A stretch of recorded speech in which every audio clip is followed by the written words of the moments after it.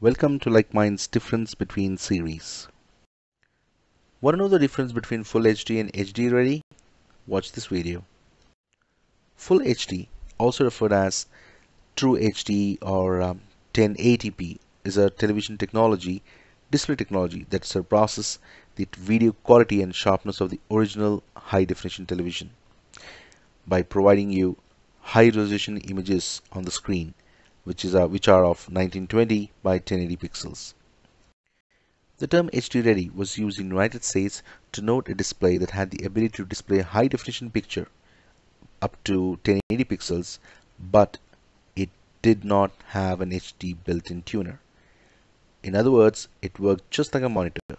You need to have a setup box that supports high definition to have a display of high definition on your screen of the TV.